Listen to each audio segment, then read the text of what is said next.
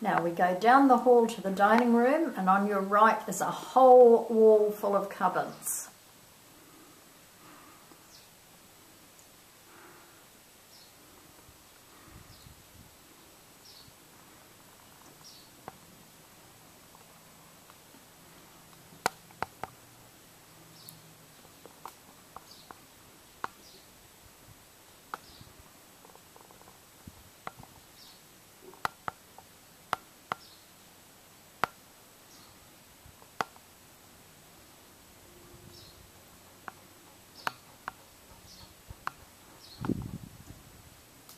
The end of the hall you can see the dining room with a glorious view out to sea.